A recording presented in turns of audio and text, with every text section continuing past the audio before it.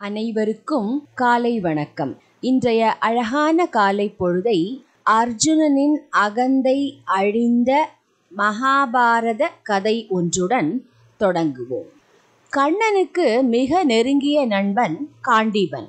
கண்ணன் திருவாயால் கீதை உபதேசம் கேட்ட அவனிடமும் அகந்தை சிறிது தலை தூக்கியது. அடியார்க்கு அருள் செய்வதைக் காட்டிலும் அவர்களிடமுள்ள அகந்தையை ஒழிப்பதையே கண்ணன் சிறப்பாக கருதுவான். அருளுக்கு உரியவரையும் அகந்தையானது அண்ணாத்தல் செய்யாத அளற்றில் அதாவது உண்டவரை மீள விடாத நரகத்தில் தள்ளிவிடுமே என்பது கண்ணன் நினைவு. நான் கண்ணனுக்கு நெருங்கிய நண்பன். கண்ணனுக்கு வேண்டிய பணிவிடைகள் அனைத்தும் செய்கிறேன். கண்ணன் எது கேட்பினும் தருகின்றேன். என் உறுப்புகளில் எதனை கேட்டாலும் தருவேன்.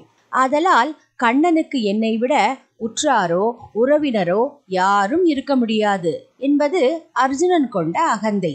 ஐயப்படாது அகத்தது உணர்கின்ற தெய்வமாகியவன் அன்றோ கண்ணன்? அர்ஜுனன் மனநிலை அறியாமல் போவானோ?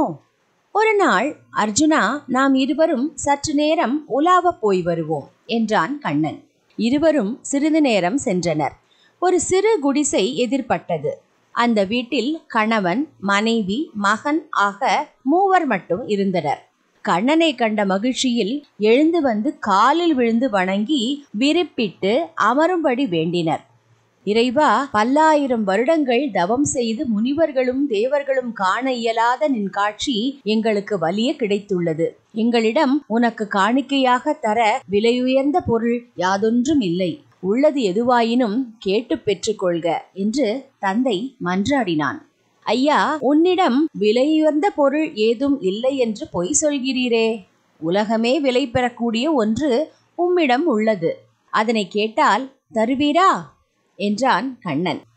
எங்களிடமா? விலை உயர்ந்த பொருளா? ஏதும் இருப்பதாக தெரியவில்லையே. இருந்தால் அதை தருகின்றோம். அப்பொருள் எது என்று நீயே கூற வேண்டும் என்றான் தந்தை. இதோ இருக்கிறானே உன் மகன். இவன் உன்னிடம் உள்ள ஒப்பற்ற செல்வம். இல்லையா? அவனை கொடு என்றான் கண்ணன். என்னிடம் உள்ளவை அனைத்தும் உனக்குரியனவே. என் மகனை இப்போதே தாரை வார்த்து தந்துவிடுகிறேன் என்று மகனை அழைத்து கண்ணன் முன் நிறுத்தினான். ஐயா இப்படியே உன் மகனை தரலாகாது. நீயும் உன் மனைவியும் உச்சியிலிருந்து சரிபாதியாக ரம்பத்தால் அறுத்து வலப்பகுதியை எனக்கு தருதல் வேண்டும் என்றான் கண்ணன். ஆனால் அறுக்கும்போது யார் கண்ணிலும் கண்ணீர் வரக்கூடாது என்று ஒரு நிபந்தனையும் விதித்தான். கணவனும் மனைவியும் கணம் கூட தாமதிக்காமல் ரம்பம் கொணர்ந்தனர். அறுபடத் தோதாக மகன் தானாகவே அவர்கள் நடுவே வந்து அமர்ந்து கொண்டான். ரம்பம் இயங்கியது. மகன் தலை அறுபட்டது. கணவனும் மனைவியும் சிறிது கூட கலங்கவில்லை. கலங்கினால் தானே கண்ணீர் வரும் கண்ணீரே வரவில்லை. ஆனால் அறுபடும் மகனது இடக்கண்ணில் மட்டும் கண்ணீர் ஒழுகியது. உடனே கண்ணன் நிறுத்தங்கள். என்னிடம் வாக்கு கொடுத்ததற்கு மாறாக உங்கள் மகன் கண்ணீர் சிந்துகின்றார். ஆகையால் உங்கள் காணிக்கையை நான் ஏற்க மாட்டேன் என்றான் கண்ணன். இறைவா என் மகன் முகத்தை நன்கு பார்த்தீர்களா?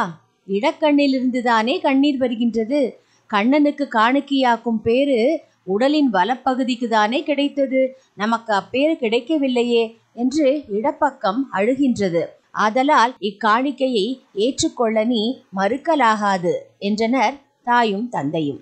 அவர்கள் தன்பால் கொண்டுள்ள பக்தியைக் கண்டு பரவசமான கண்ணன் அறுப்பதை நிறுத்துங்கள் என்றார். அறுப்பது நின்றது.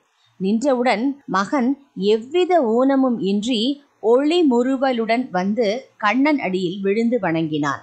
இந்த அற்புத காட்சியை கண்ட அர்ஜுனனின் அகந்தை பறந்துவிட்டது.